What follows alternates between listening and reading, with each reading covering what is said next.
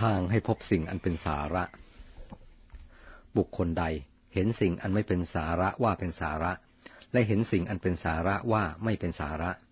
บุคคลนั้นมีความดำริผิดประจำใจ ย่อมไม่อาจพบสาระได้ ส่วนบุคคลใดเห็นสิ่งอันเป็นสาระว่าเป็นสาระ สิ่งอันไม่เป็นสาระว่าไม่เป็นสาระ บุคคลนั้นมีความดำริถูกประจำใจ ย่อมสามารถพบสิ่งอันเป็นสาระ อธิบายความ หากจะตั้งปัญหาถามก่อนว่า อะไรคือทางให้พบสาระ ก็ตอบโดยอาศัยพระพุทธภาษิตนี้เป็นหลักว่า สัมมาทิฏฐิความเห็นชอบเห็นถูก อธิบายว่า ความเห็นชอบย่อมนำไปสู่การกระทำชอบและพูดชอบ ตลอดถึงความพยายามชอบ มิจฉาทิฏฐิเป็นยอดโทษฉันใด สัมมาทิฏฐิก็เป็นยอดคุณฉันนั้น บุคคลผู้มีสัมมาทิฏฐิประจำใจ จึงเหมือนมีกุญแจไขเข้าไปในห่วงอันเต็มไปด้วยสาระ ส่วนคนมีมิจฉาทิฏฐิประจำใจ หาเป็นเช่นนั้นไม่ มีแต่จะเดินเข้ารกเข้าพงนำชีวิตไปสู่ความล่มจมล่มเหลว เปรียบด้วยเรือ สัมมาทิฏฐิก็เป็นหางเสือให้เรือแล่นไปในทางอันถูกต้อง หลีกขินโสโครกและอันตรายต่างๆ คนเราจะพบสาระหรืออสาระก็แล้วแต่การเลือก และความเห็นอันถูกหรือผิดของตน ถ้ารู้จักเลือกและมีความเห็นถูกอยู่คู่ใจแล้ว ย่อมประสบสิ่งอันเป็นสาระจนได้ ดังเรื่องต่อไปนี้ เรื่องอาจารย์สัญชัย สัญชัยเป็นคณาจารย์คนหนึ่ง บรรดาคณาจารย์มากมายในกรุงราชกฤห์สัญชัยพอใจเป็นนักพรตประเภทปริพาชก ดังนั้นบางคราวเราจะได้ยินคำว่า สัญชัยปริพาชก เขาเป็นอาจารย์ของพระสารีบุตรและ โมคคลานะ ในสมัยที่ท่านทั้งสองยังเป็นหนุ่มชื่ออุปติสะและโกริตะอยู่ ขอกล่าวเรื่องของท่านทั้งสองเล็กน้อยก่อน เพื่อให้เรื่องเชื่อมกันสนิท ในสมัยเป็นครวาสอุปติสะและโกริตะเป็นเพื่อนรักกันและมั่งคั่งโดยกันทั้งสองคน บิดาของอุปติสะเป็นผู้ใหญ่บ้านในอุปติสะคาม บิดาของโกริตะก็เป็นผู้ใหญ่บ้านในโกริตะคาม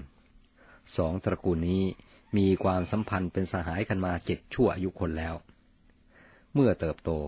ทั้งสองได้ศึกษาศิลปศาสตร์อันเป็นทางเลี้ยงชีพ และทางนำมาซึ่งกิตยศชื่อเสียงสำเร็จทุกประการ เขาชอบไปดูมหรสพบนยอดเขา ย่อมหัวเราะในที่ควรหัวเราะ เศร้าสลดในควรที่ในที่ควรเศร้าสลด และให้รางวัลแก่ผู้แสดงที่ตนชอบใจ ต่อมาวันหนึ่ง อุปติสสะมีอาการแปลกไป คือนั่งเฉย เหมือนคิดอะไรอย่างหนึ่งอย่างลึกซึ้ง โกริตะจึงถามอุปติสะตอบว่า สหายเอ่ยข้าพเจ้าคิดอยู่ว่า คนเหล่านี้ไม่ถึงร้อยปีก็คงจะต้องตายกันหมด จะเพลิดเพลินอะไรกันอยู่ เราน่าจะแสวงหาโมฆะธรรม โกริตะรับว่าเขาก็คิดเช่นนั้นเหมือนกัน และกล่าวว่า เราออกแสวงหาโมฆะธรรม คือธรรมอันเป็นทางให้พ้นทุกข์กันเถิด แต่การแสวงหาโมฆะธรรมนั้น ควรได้บวชในสำนักใดสำนักหนึ่ง ทั้งสองตกลงกันแล้ว พร้อมด้วยบริวารคนละห้าร้อยออกบวชในสำนักของอาจารย์สัญชัย ตั้งแต่ทั้งสองสหายบวชแล้ว สัญชัยก็เป็นผู้เลิศด้วยลาบและบริวาร ล่วงไปเพียงสองสามวัน อุปติสะและโกริตะก็สามารถเรียนจบคำสอนของอาจารย์ เมื่อทราบจากอาจารย์สัญชัยว่า ไม่มีคำสอนอื่นใดอันยิ่งกว่านี้แล้ว เขาทั้งสองคิดกันว่า การอยู่ประพฤติพรหมจรรย์ในสำนักของอาจารย์สัญชัยไม่มีประโยชน์อะไร เราทั้งสองออกบวชเพื่อแสวงหาโมกธรรม แต่ไม่สามารถพบได้ในสำนักของอาจารย์ผู้นี้ อันชมพูทวีปนี้กว้างใหญ่นัก เราเที่ยวไปในคามนิคม ชนบทราชธานี คงจะได้อาจารย์ผู้แสดงโมกธรรมเป็นแน่แท้ ตั้งแต่นั้น ใครผู้ใดที่พูดว่าที่ใดมีสมณะพราหมณ์เป็นผู้เป็นบัณฑิต ทั้งสองก็ไปทำการสากัดฉากับสมณะพราหมณ์นั้น ปัญหาที่เขาถาม อาจารย์เหล่านั้นไม่อาจแก้ได้ แต่เขาสามารถแก้ปัญหาที่อาจารย์เหล่านั้นถาม แล้วได้ เขาเที่ยวสอบหาอาจารย์ทั่วชมพูทวีปแต่ไม่ประสบ จึงกลับมาสู่สำนักเดิม นัดหมายกันว่า ใครได้บรรลุอมตะธรรมก่อนขอจงบอกแก่กัน ระยะนั้น พระศาสดาสัมมาสัมพุทธเจ้าเสด็จถึงกรุงราชคลึประทับอยู่ณเวลุวัน อันพระราชาพิมพิสารทูลถวาย พระสาวกรูปหนึ่งในจำนวนปัญจวัคคีคือพระอัสสชิ ออกบินทบาทในกรุงราชคลึในเช้าวันหนึ่ง อุปติสะบริโภคอาหารเช้าแล้วก็ออกแต่เช้าเหมือนกัน เขาได้เห็นพระอัสชิแล้วรำพึงว่า นักบวชอย่างนี้เราไม่เคยพบเลย คงจะเป็นรูปหนึ่งรูปใด บรรดาผู้บรรลุแล้วซึ่งพระอรหัตผลในโลกฉไหนหนอ เราจะเข้าไปสอบถามความสงสัยของเราได้ เขากลับคิดว่า เวลานี้ยังไม่ควรก่อน เพราะพระกำลังบินทบาทจึงติดตามไปข้างหลัง เขาเห็นพระเถระได้อาหารบินทบาทพอสมควรแล้ว ไปสู่ที่แห่งหนึ่งเพื่อฉัน เขาเห็นพระเถระแสดงอาการว่าจะนั่ง จึงได้จัดตั้งของปริพาชกสำหรับตนถวาย เมื่อพระเถระฉันเสร็จแล้ว ก็ได้รินน้ำ ในกุนโทของตนถวายแล้วแล้วถามว่า อินทรีย์ของท่านผ่องใสยยิ่งนัก ผิวพรรณของท่านบริสุทธิ์ผุดพอง ท่านบวชอุทิศใคร ใครเป็นศาสดาของท่าน ท่านชอบใจธรรมของใคร พระอัสชิตคิดว่า โดยปกติ ปริพาชกย่อมเป็นปฏิปักษ์ต่อพระพุทธศาสนา เราจะแสดงความลึกซึ้ง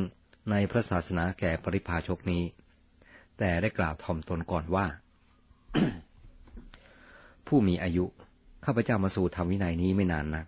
ยังเป็นผู้ใหม่อยู่ข้าพเจ้าไม่สามารถแสดงธรรมโดยพิสดารได้ ปริพาชกเรียนว่าข้าพเจ้าชื่ออุปติสักขอพระผู้เป็นเจ้าจงกล่าวธรรมตามสามารถเถิด จะน้อยหรือมากไม่สำคัญ การแทงตลอดธรรมนั้นเป็นหน้าที่ของข้าพเจ้าข้าพเจ้าต้องการแต่ใจความเท่านั้น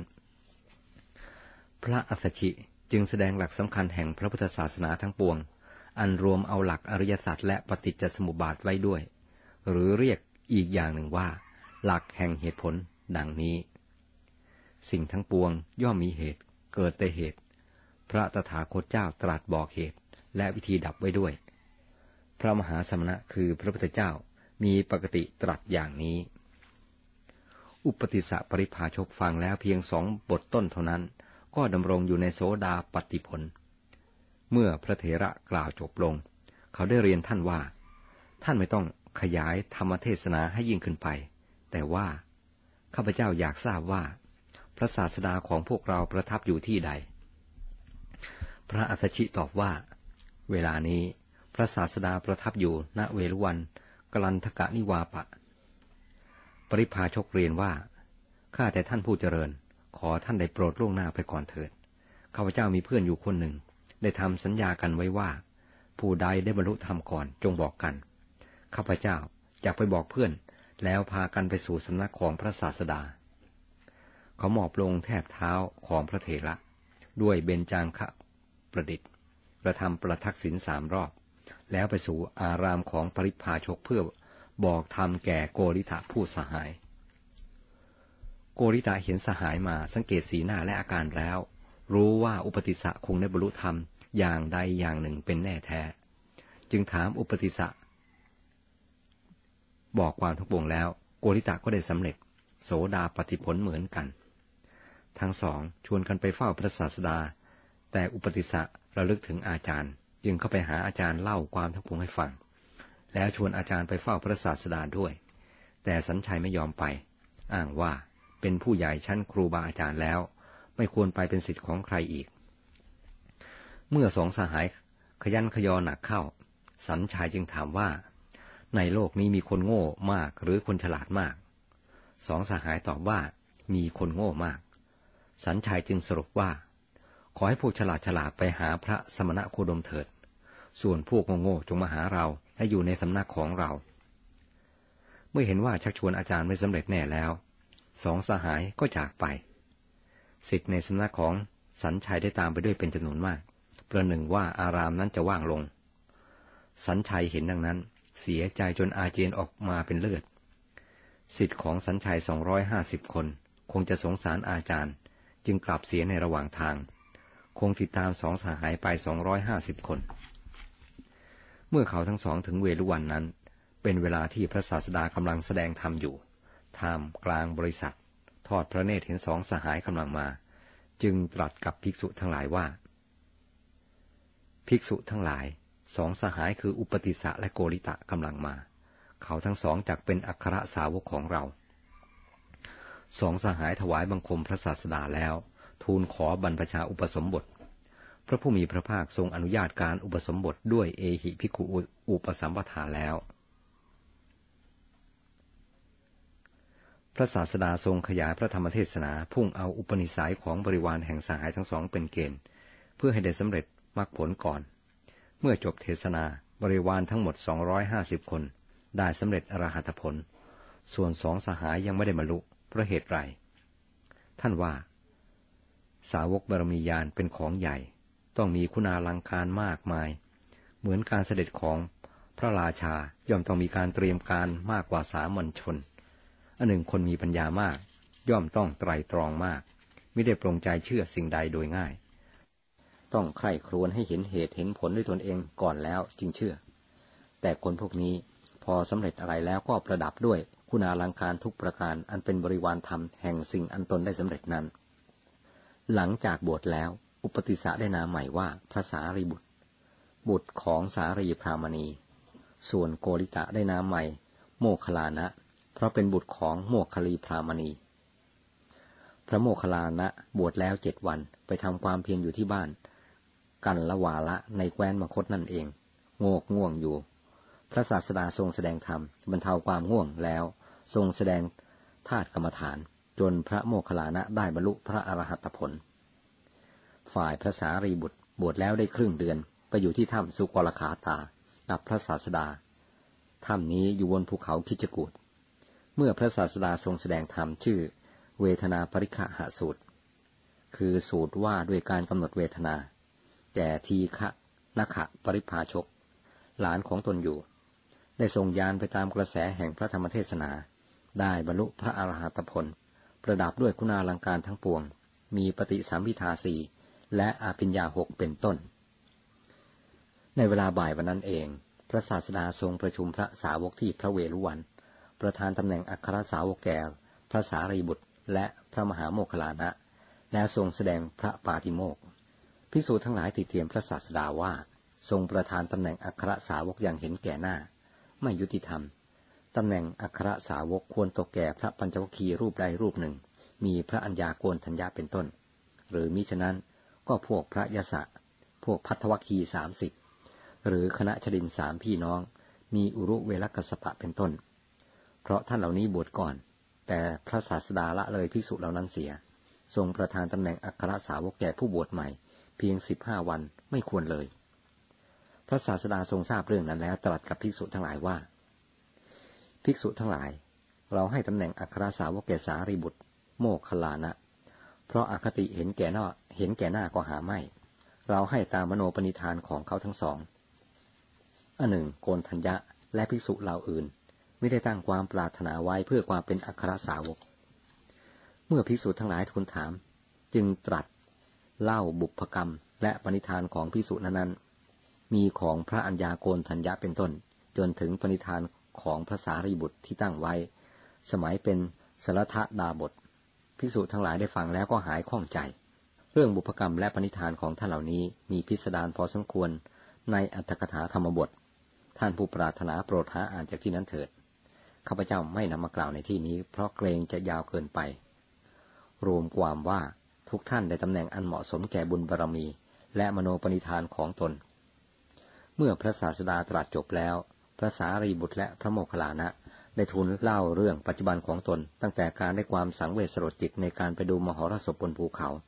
จนถึงได้ฟังธรรมจากพระอัฏฐิแล้วชวนอาจารย์สัญชัยมาเฝ้าพระศาสดา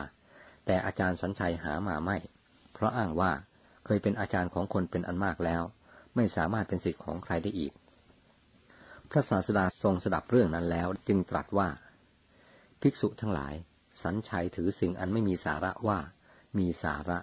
ถือสิ่งอันมีสาระว่าไม่มีสาระ เพราะเป็นมิจฉาทิฏฐิ ส่วนเธอทั้งสอง รู้จักสิ่งที่เป็นสาระว่าเป็นสาระ สิ่งไม่เป็นสาระว่าไม่เป็นสาระ เพราะเธอเป็นบัณฑิต ละทิ้งสิ่งอันไม่เป็นสาระ ถือเอาเฉพาะสิ่งที่เป็นสาระดังนี้แล้ว ตรัสพระพุทธภาษิตซึ่งยกขึ้นกล่าวไว้แล้วแต่เบื้องต้น